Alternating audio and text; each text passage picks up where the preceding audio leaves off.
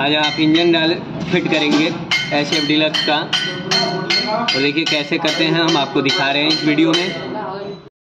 हम इसको देखिए सिलेंडर को। सिलेंडर को लाए पिस्टन भी हमारा सामने पड़ा है। अब इसको देखिए, बहुत जल्दी आसानी से हम फिट कर लेंगे। और देखिए, पहले रिंगों को दबाइए, इस तरह से, इस तरह से। और देखिए हमारा सिलेंडर बैठ गया। जबकि कितने मैकेनिक भाई काफ़ी टाइम तक उसमें मशक्क़त करते हैं, उसके बाद तैयार कर पाते हैं।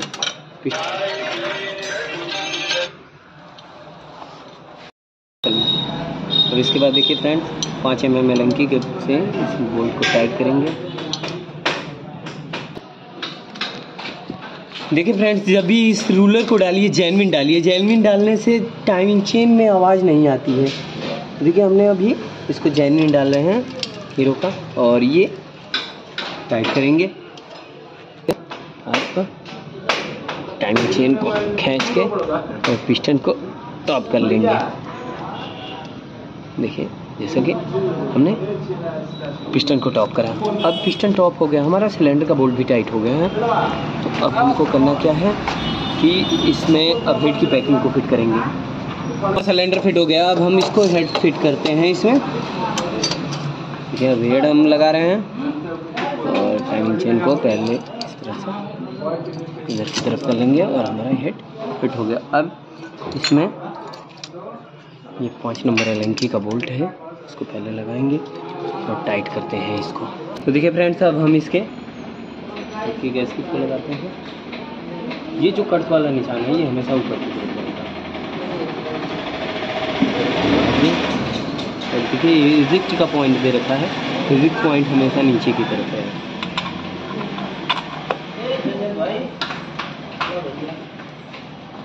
फ्रेंड्स कापर वाली वाशर जो है, ये हमेशा यहाँ पे रहती हैं। बाकी वाशर कहीं पे भी लगा सकते हैं।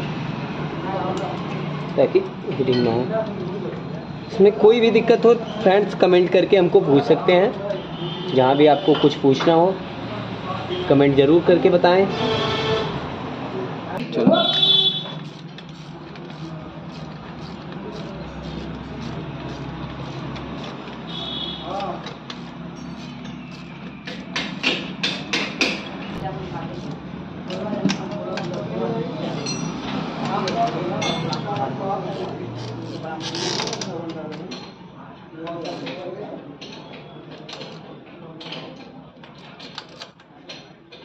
ये टाइमिंग चेन को ऊपर करिए, और ये हम पिस्टन को टॉप के सीध में रखते हैं और इस तरह से टाइमिंग चेन को उठाते हैं और इस पर रखते हैं। और हमारा टाइमिंग चेन टॉप का है। जबकि हमने ऑलरेडी पहले ही इसका पिस्टन टॉप पे कर रखा था। अभी देखिए, हमें केवल टाइमिंग टॉप पे करनी थी तो हमने इस तरह से आसानी से टाइमिंग को टॉप करा और टाइमिंग के प्लेट को फिट कर दिया और उसके बाद टाइमिंग के दोनों बोल्टों को टाइमिंग के बोल्टों को साइज़ करते हैं।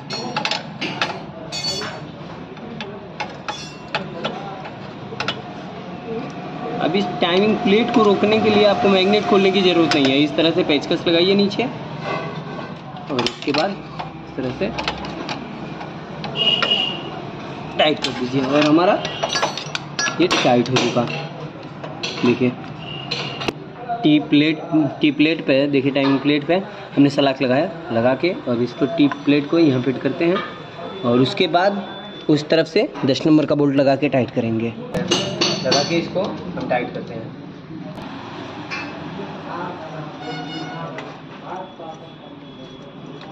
ये हमारा टेप लूज है। अब इस टेपिंग को टाइट करने के लिए ढीला करेंगे। तो जाके हमने ढीला करा और उसके बाद टैपेट कूलर से इसको टाइट करके फिट कर देंगे। और देखिए, इसमें प्लेन नॉर्मल है, जैसा कि चाहिए। अब जैप की देखिए, नीचे का टैपेट हमारा एकदम टाइट है। इसको ढीला करेंगे, ढीला करके इसको नट को भी ढीला कर रहे हैं।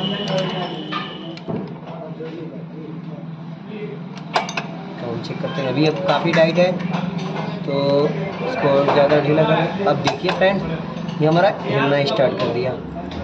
चाहिए देखिए जैसे हम दिखा रहे हैं प्ले है, अब इसको हम टाइट कर देंगे। ये प्ले चाहिए, अगर प्ले नहीं रहेगी तो स्टार्टिंग में दिक्कत करेगी। और इसको स्टार्ट करते हैं और गाड़ी स्टार्ट करके और दिखाएँगे कि यहाँ पे टैपेट के रास्ते इंजन आयल आ रहा है कि नहीं आ रहा।